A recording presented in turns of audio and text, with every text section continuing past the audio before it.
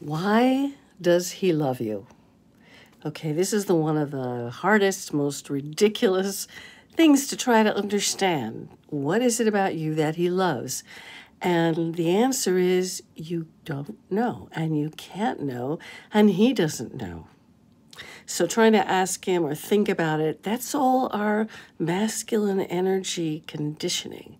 You don't want to go there. He loves you for some internal reason that is beneath his consciousness. It is his subconscious. And you can't get in there. All you know is when you do or say certain things, he lights up. So then you keep doing those things. Well, we don't want to create those patterns in an unknowing way.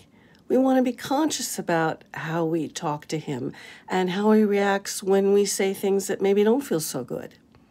So he loves you for some deep internal reason. And the next video, I'll explain his next step, his next mental step after he just feels that he loves you.